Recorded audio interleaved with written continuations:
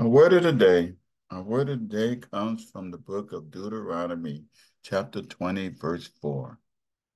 And it says, For the Lord your God is he who goes with you to fight for you against your enemies, to save you. Amen. For the Lord your God is he who goes with you to fight for you against your enemies, to save you. Amen. Think God is truly telling us today that the battles are His and not our own. The trials, the tribulations, and all the things that we go through while we're here on this earth, they all are His.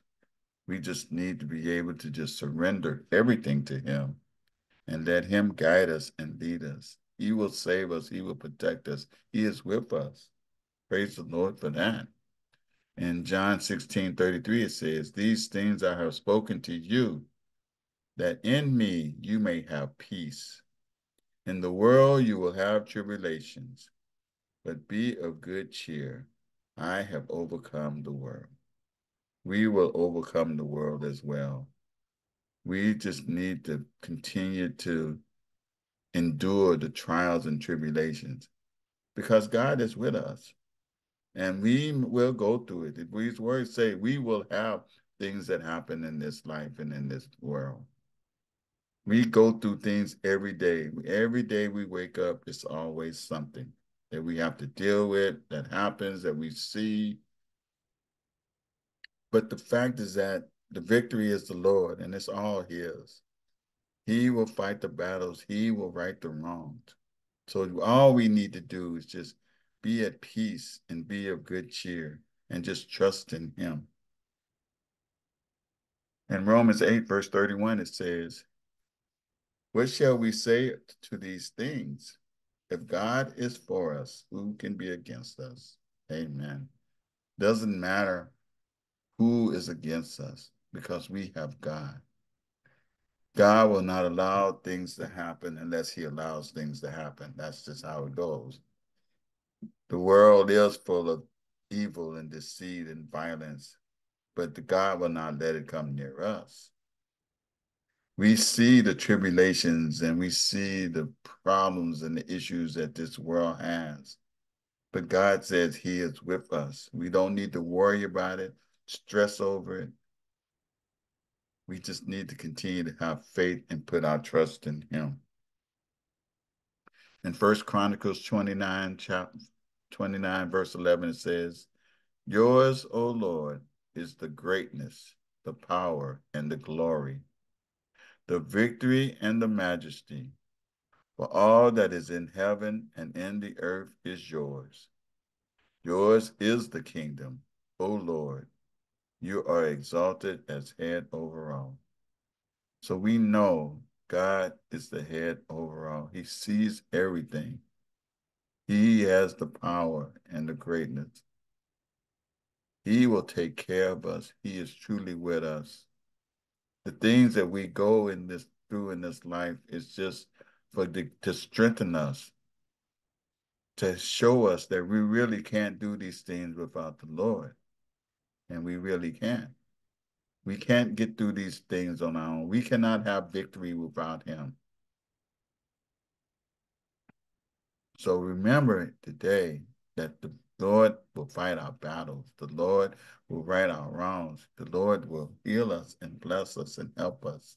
He is truly with us. Amen.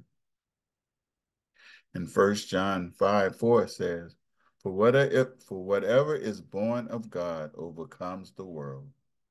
And this is the victory that has overcome the world, our faith.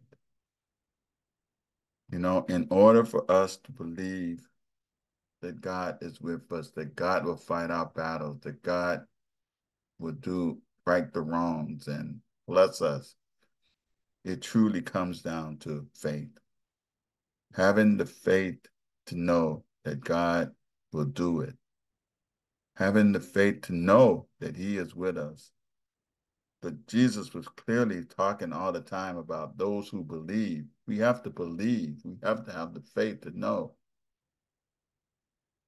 And if we have that faith or we don't have that faith, we don't have it, we ask. If we don't have belief, we ask. It's all just comes down to that.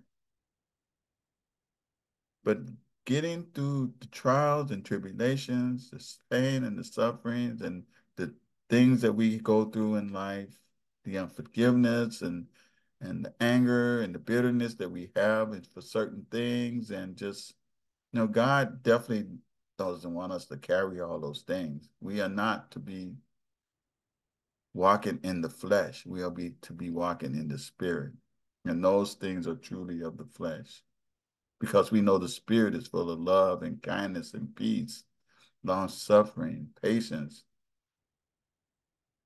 those are the things of the spirit but we know that it comes down to just putting our faith and our trust in the Lord. He will give us those things when we ask. So, Heavenly Father, I just thank you for this word today. Oh, I have another verse. In First Corinthians chapter 15, verse 57, it says, But thanks be, but thanks be to God who gives us victory through our Lord Jesus Christ. Amen. Couldn't forget that verse. Thanks be to God. Victory will be ours. We know it's coming. And we know that the Lord will give us the victory. Praise the Lord for that. So, Heavenly Father, I thank you that you remind us today that the battles are truly not ours, they're all yours. We thank you for telling us that we will have trials and tribulations and we will go through these things in this world.